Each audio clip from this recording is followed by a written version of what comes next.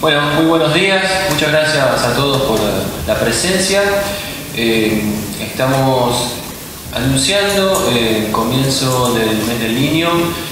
Eh, estamos trabajando en equipo, en conjunto, eh, la Dirección de Bienestar Social, el Pueblo de la Niñez y Adolescencia, la Dirección de Cultura, el programa de de promotores territoriales del Ministerio de Desarrollo de la Nación y 20 instituciones más eh, de Salto y de las localidades vecinas eh, para este, este, gran evento que consta de cuatro fechas eh, donde vamos a estar con actividades, juegos participativos y recreativos.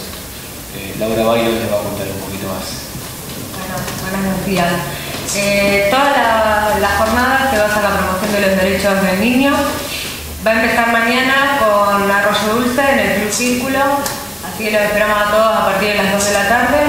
El sábado siguiente, que es el sábado 13 en Camping de Bomberos, el 20 en Hogar del Niño y el 27 en Parque de la Diagonal. Además va a haber talleres y charlas eh, durante la semana y también podemos ya, tenemos confirmado el miércoles, no, perdón, el jueves 25 a la 1 de la tarde en Club Progreso, en una obra de teatro de la Defensoría del Pueblo. Pero de todas maneras ya vamos a ir anunciando las distintas actividades durante todo el mes. Pero los invitamos a todos que participen, que lleven sus chicos y para pasar la tarde promocionando los derechos del niño. No sé si querías agregar algo más. Pasar las fechas, eh, sábado 6 en Arroyo Dulce, el sábado 13 en el camping de bomberos, el día 20 de agosto en el hogar del niño, en la puerta del hogar, vamos a estar trabajando en la calle, y el día 27 de agosto eh, en el parque de la Diagonal.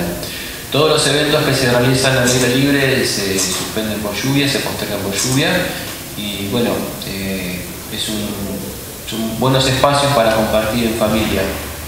Eh, los, van a estar todos cerrando con espectáculos artísticos para toda la familia, así que la invitación es para niños, adolescentes acompañados de su familia.